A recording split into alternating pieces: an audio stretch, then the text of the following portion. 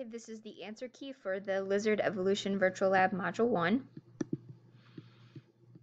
Um, for the first prompt, so your your responses are really going to vary here depending on how you initially grouped the lizards. Um, but I hope that you saw at the end of the module how they were grouped. probably different from um, what you did because I'm assuming a lot of you grouped by color. Um, but more it's it's based on their hind limb length and their tail length. Okay, so these next couple prompts, the answers should have popped up when you clicked something. So for the first question, uh, what do the four groups of anoles represent? So those are the four ecomorphs. Which of the following features may differ among um, a different ecomorph group? That should have been D, all of the above. Why did you need to calculate relative hind limb length rather than absolute hind limb length? Should have been B to control for the effects of body size when making comparisons. Species that belong to the same ecomorph group are similar in appearance and occupy similar habitats.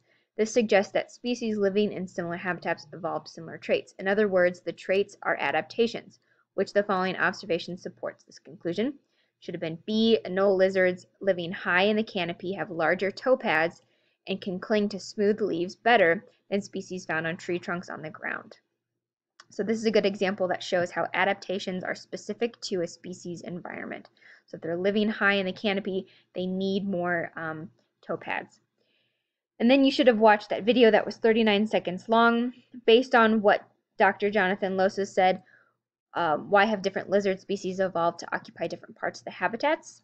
The correct answer should have been A, to minimize competition for food and other resources between different species. This is something we didn't really have time to, to um, discuss a lot this semester, obviously, but no two species can peacefully cohabitate this or co cohabitate in the same niche.